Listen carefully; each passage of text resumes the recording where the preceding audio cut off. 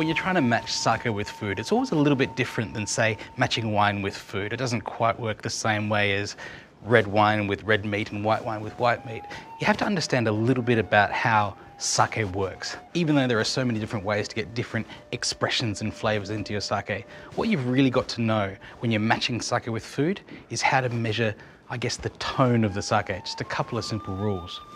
Firstly, sake could be served at many different temperatures. You see here on this chart here, this sake is recommended to be served chilled, but you can also have it on the rocks or even at room temperature.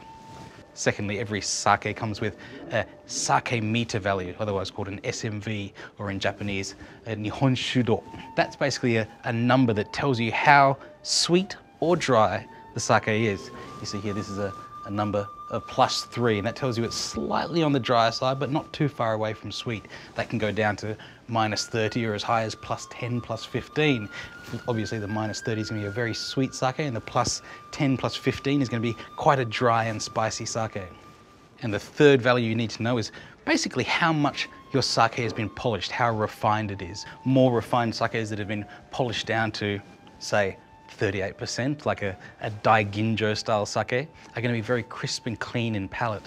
Whereas less polished sakes, maybe up around 80% or even 60%, might have a slightly richer flavour to them. That's going to tell you what food it's going to go well with. So let me give you an example. Say I'm going for a omakase sushi course where I've got 20 pieces of sushi coming to me. How am I going to match my sake with that? Well, I might start with something that's quite refined to go for the lighter fish that might come at the start of the meal. And I might order that chilled and let it warm so it changes characteristics from piece to piece.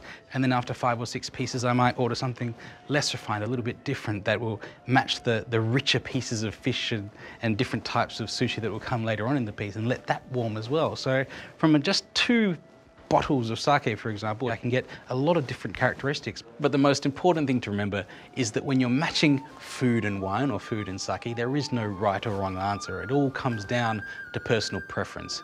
Sure, take a few little rules to guide you on your way, but try a few sakes and have a good time doing it.